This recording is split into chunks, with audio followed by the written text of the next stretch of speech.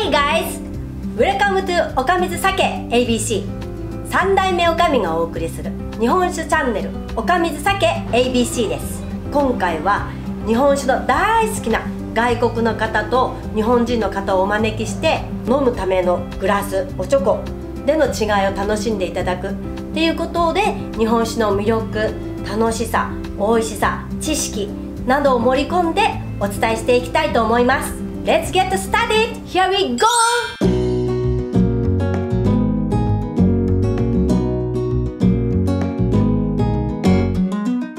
最近では日本酒をワイングラスで飲むという飲み方も浸透してきています日本酒をワイングラスおちょこという式の違いで美味しさが変わるのか試してみましょうご用意したお酒はこちらです天部という日本酒をワイングラスおちょこで味わってもらいましょうでは、まずワイングラスからついてみます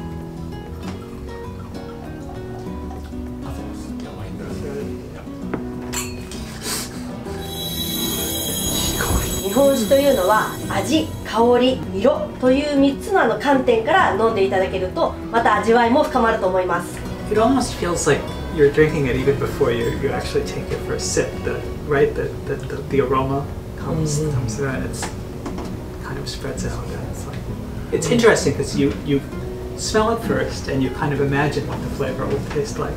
And then どうですかうまい、 mm, 美味しい、ね oh, 飲んだ時にスーッと口に入ってる感じ香りと一緒にお酒が飲める感じかな it's interesting because when you first smell it and you get that aroma, it, it does kind of have that sort of floral tones of like a, a white wine or something like that. But then when you taste it, it also has the richer, deeper kind of ricey, umami, kind of earthy notes to it as well. So it's, it's interesting. You definitely can get a deeper sense of it. It's, it's a very deep and layered masake, I think. じゃあ次にこのおちょこで同じお酒を飲んでみましょう、はい ワイングラスの香りのいや出し方全然違 it's う completely different. うん、同じお酒とは思えないくらいあの飲 Oh, み wow. 口が全然違う、Wow. Yeah. うん The fragrance definitely doesn't Mm. hit you as strong. 香りがねしっかりしてているんだけど、飲んだ時の飲み口もしっかりした感じなんですこっちはねあの本当に香りと一緒にお酒が飲める、本当にスーッとお酒が飲めるだからこっちの方が量は飲めるかもしれない Uh, Ah. it, it does. It, it brings out the Mm. fragrance, and it, it, it actually it the aroma and the fragrance really hits you Oh. strong when you drink with a wine glass.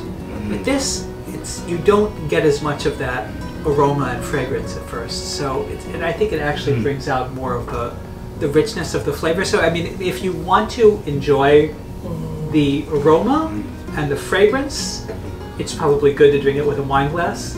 If you want to just kind of more enjoy the kind of taste and the richer layered, you know, maybe if you're eating something with it, then maybe have it in the choco and Ah. don't, you 物を食べ know. ながらだと絶対こっちのおちょこと思うでお酒だけを楽しんで飲むんだったらワイングラス、Yeah, で飲んだら本当にねあの飲み比べてみると同じお酒なんだけどこれだけ違うかっていうくらいあの両方とも楽しいんだけど It is- 本当に、うん、いいですよ日本酒はあの本当にこういろんなランクだけではなくて酒器の違いによっても味わいが変わるようですじゃあ次に飲んでいただくお酒は千曲錦酒造さんの絞ったまんまです千曲錦酒造さんは長野県の酒蔵さんで地元のお酒お米を使って作ったお酒です Oh, can I, can I see that? Is that- いや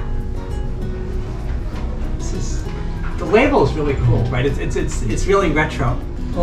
You know, it's like a lot of times. I mean, these days you'll see sake with all kinds of labels. You know, you'll see some with kind of very stylish illustrations, sometimes by fa- famous artists and things like that too. But it's like, I mean, I always feel like a lot of people sometimes there's so many different type, type, types of sake, and people don't know what to drink. And I always like to say, if you don't know what to drink, I mean, if you see a label that just kind of connects with you, I mean, go ahead and give it a try. I mean, you don't know. There's probably a reason, you know, why the the brewers who made this sake chose this label. And if you feel like a connection with this, like right now, I think this is kind of very interesting, and I wonder what it tastes like. yeah, if you if you see a label that kind of connects with you, go ahead and, and try it. It might actually become your favorite sake. You never know. It's just, you don't have to. I mean, of course, the you know there are very specific specifications, Yeah. and you know you can tell this is a mudoka. It's unfiltered. It's undiluted. You know, it's unpasteurized. I mean, that's important too. But what's most important is just whether or not it connects with you. And if you think I want to give that a try, why not? It's not about knowing everything. It's just about you know giving it a shot and, and seeing maybe that might be the sake that you were exactly looking for at that exact point in time. いいね確かに本当うんそうではまずこれをワイングラスと平ジョコについでみましょワイングラスもそう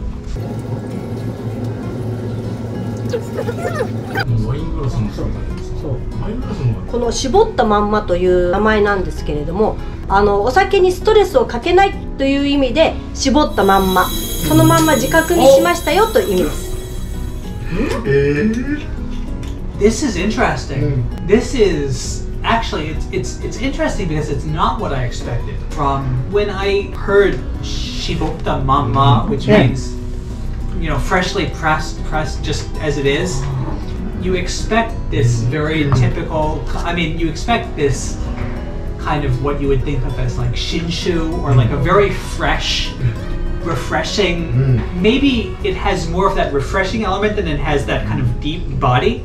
But this actually has a very deep, rich body that kind of comes. It has that umami. It has the notes of rice. It's actually kind of almost the opposite of what you'd expect from a shinshu, but it's also うん delicious. 絞ったまんまっていうかそうだねだからお酒のね磨いた感じよりもそのうまみうまみが、ね、一番最初に立ってくるワインなんかって寄付ワインみたいなあんな感じで本当にねうまみが先にどんとくる、そこから香りが立ってくるんだけど香りよりもねうまみが強くてそっちの方だからね、うん、本当に美味しいじゃあさっきの天ぶとは違いますか it's, it's, completely different. 全 And- く別物 And it- it's interesting. So I think yeah, anybody. I mean, I think Koike-san said the same thing right now too. But it's it's that umami. It's that kind of rich. You have the the earthy kind of notes. You have the full-bodied flavor. It's not. It's like I don't know. だからね美味しいそのスープじゃないけど美味しいそのだしじゃない Yeah, it's not- だからう but ま yeah. みを飲んでるような感じ It's not. It's not completely dashi, but it's like that. It has that. It has those same savory, deeper flavors. Yeah. Whereas when you think of your average kind of like shinshu, そう you think of something that's just it's it's mostly fresh it maybe kind of hits you here and it's very fruity and floral and it's like wow this is great this is fresh this is wonderful but it doesn't hit you as deeper but this actually it co- goes deep right from the start グラス違いでワイングラスおちょこっていうのはやっぱり違います、 it, it's not it's not like this is the right answer and this is the wrong answer or vice versa it's not like this sake you need to drink with this glass and if you don't know what glass to drink then oh you're you don't know anything it's not like that at all it depends on your mood it depends on how you want to enjoy the sake if you want to enjoy the aroma if you want to kind of feel it mm. go like this then maybe you know have it in a wine glass and you'll have that you'll feel even more of the aroma than you would normally if you just want to mm. kind of relax with your sake and have it with food. You know, it's it's autumn. Mm. You know, you might have like a a grilled grilled grilled like yakizakana, grilled fish, grilled sama or something like that. And if you want a sake to kind of pair with that kind of like or oden or something like that, and you don't care so much about the aroma, then you have it in a choco あ and enjoy it with your kind of autumn or cold weather foods. It depends on how you feel, what mood you're in. You can enjoy it in so many ways. So, yeah, why limit yourself?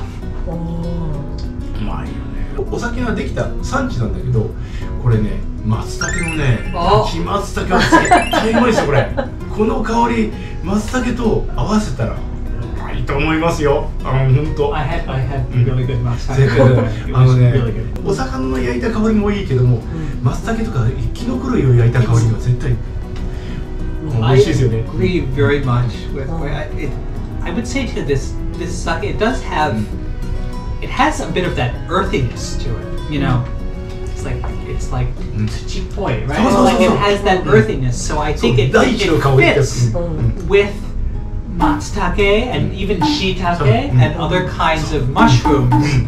そう It would really and, and, and like konsai, like root root vegetables.